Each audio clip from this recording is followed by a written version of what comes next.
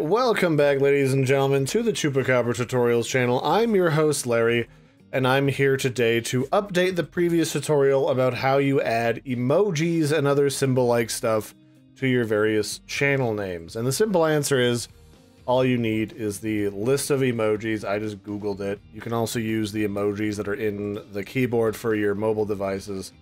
And you just find the one that you want to add, and then you can just plunk it into one of these channels. So for example, let's say I want to add a new gaming chat icon because gaming is generally like a sort of like a game controller situation. So we just find the robot works and we'll change the gaming icon to be that robot. So we just open it up, edit the channel, and we can literally just copy and paste it and save it. And any of these emojis from the Unicode table will work.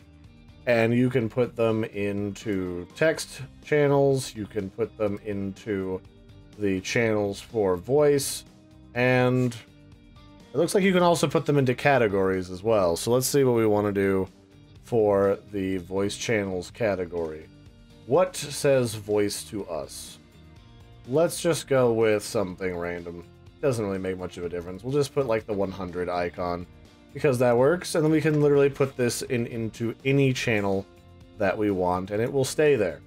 So you can put it into the voice channels, the text channels, and you might even be able to put it into the server name itself these days. Yeah, you totally can.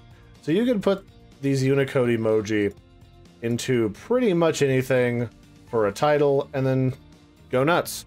So I hope you found this helpful. I will put a link in the video description for this table. You can literally just Google Unicode emoji table and it'll just show you like a list of all of the Unicode emojis that are built into the font systems on computers and phones and stuff.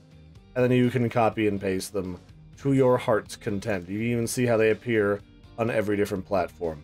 So that'll be it for this one, ladies and gentlemen. I've been your host, Larry. Don't forget to like and subscribe, and I'll catch you next time. This has been how to put emojis into your channel names, your category names, and your server name.